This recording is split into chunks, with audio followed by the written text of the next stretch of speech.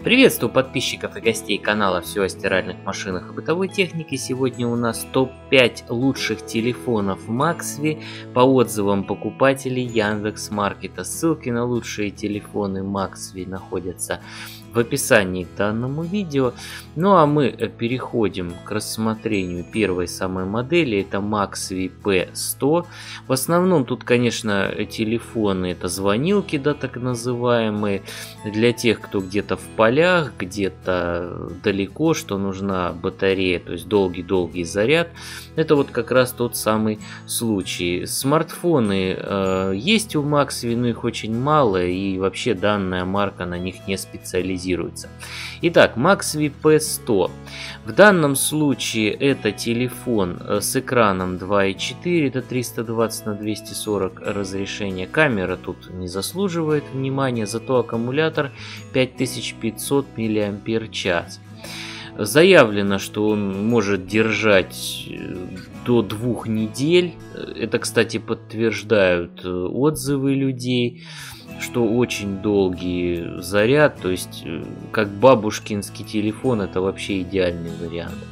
Ну, не только бабушкинский, то есть если вы, допустим, фермер или там еще занимаетесь чем-то, что у вас нет возможности подключиться к электрической розетке, то есть вы где-то в полях, э, там где нет электричества, это хороший вариант, потому что если умеренно разговаривать, действительно его хватает на э, неделю и даже больше. А если им почти не пользоваться, то и на две недели.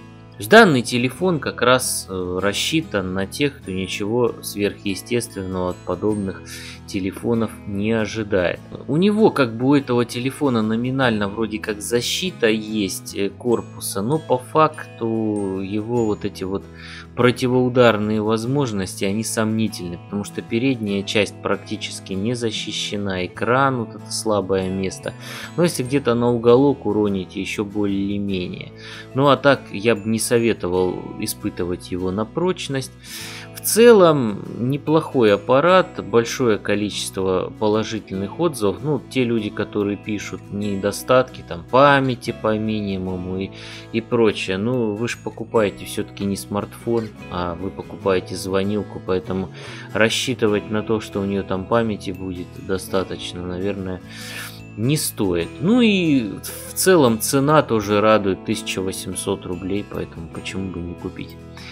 Второе место занимает похожий телефон Maxvi R1, ну это совершенно другой уже аппарат, в том смысле, что у него и конфигурация кнопок немножко поинтереснее, я бы сказал, в том смысле, что, вот, например, у него кнопка включения фонаря есть спереди вместо кнопки SOS.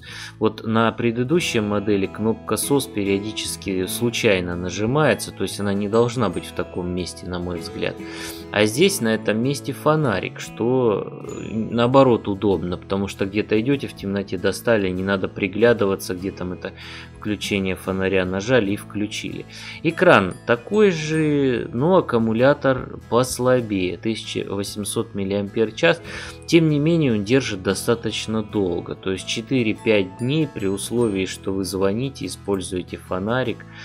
То есть э, по противоударным возможностям тоже поинтереснее данный телефон. Э, менее тормозной, неплохо работает э, в таких местах, где плохо вообще связь берет. Поэтому обратить внимание на эту модель однозначно стоит. Удобно лежит в руке как бы он меньше царапается экран, я имею в виду, э, меньше стираются кнопки, то есть э, вот это вот нанесен, не знаю, краска или что это такое на кнопках, но она меньше стирается, об этом люди говорят. Так что, в принципе, и для пожилых людей, и для людей, которые, в общем-то, частенько ходят в походы, это неплохой вариант, хотя, может быть, и не лучше на рынке, но по цене однозначно приемлемый, 2890 рублей. Третье место занимает тоже простенькая звонилка для бабушки с огромными цифрами тут, то есть промахнуться мимо них даже человеку подслеповатому будет сложно. 1500 э, мАч идет батарея, что для такого экономичного телефона в принципе более чем достаточно. То есть его хватает на неделю, бывает даже дольше, поэтому в этом плане удобно. Есть фонарик с отдельным выключателем. Он работает в местах, где антенна не очень то есть э, лучше даже, чем многие смартфоны берет. Э, отзывы э, это подтверждают, хотя отзывов может быть не так много, но и надо сказать, что эта модель не сильно старая, то есть она сравнительно недавно на рынке появилась. В разных цветах она предлагается и цена, как мы любим, да, до 2000 рублей, 1990.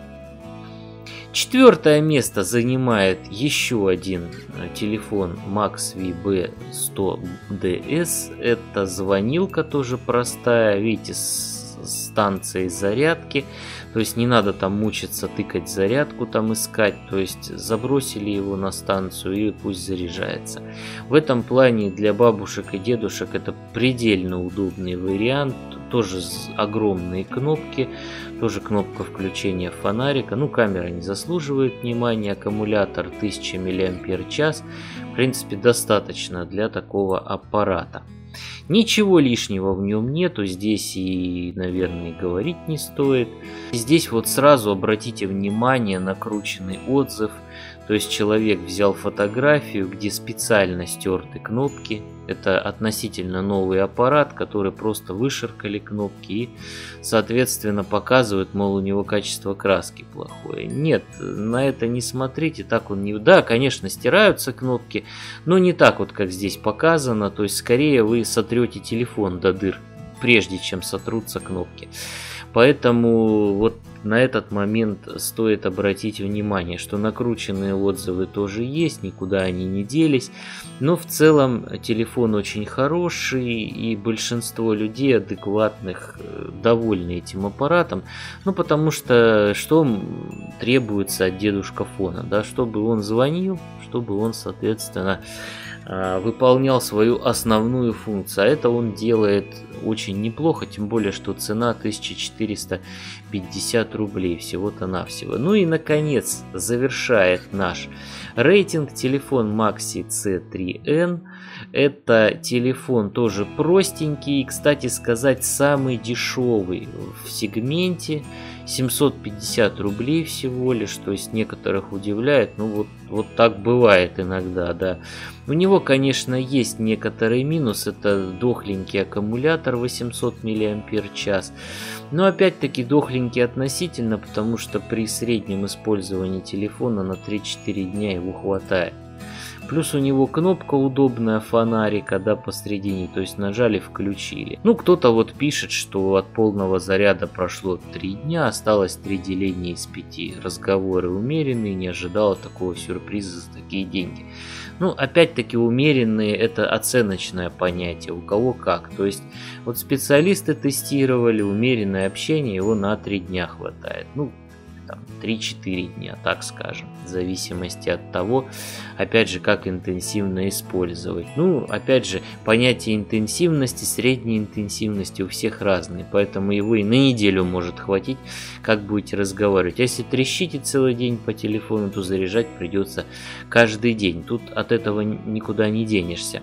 Говорят о тупой прошивке, кстати сказать, этот же человек с таким же ником и про другой телефон точно такой же один в один отзыв, то есть скопировал оттуда сюда. Э, видимо, специализируется на том, чтобы писать эти самые отзывы. Так что вот этот отзыв я под сомнение ставлю. Остальные отзывы более-менее реальные. Э, вот особенно те, которые сопровождаются фотографией. Ну вот конкретно данный субъект, он просто-напросто слишком много требует от такого рода аппаратов. Хотя действительно с контактами для сим-карт бывают иногда проблемы, но решается эта проблема банальной чисткой. потому что э, сборка действительно не самая качественная, и бывает пластик попадает между контактами. Ну и, соответственно, если его аккуратненько, например, тем же шилом прочистить эти промежутки между контактами, все нормально будет, то есть сим-карта вставится, будет читаться, никаких проблем не будет. Не все, конечно, аппараты требуют такой доводки, но если вдруг вам попался такой, имейте в виду, что это легко решается. 750 рублей он стоит, ну и в принципе вполне достоин нашего рейтинга. Ссылки на лучшие телефоны Maxvi с Яндекс Маркета находятся в описании к данному видео. Если этот ролик был вам полезен, ставьте палец вверх, жмите на красную кнопку подписаться под видео, жмите на колокольчик и всего вам хорошего.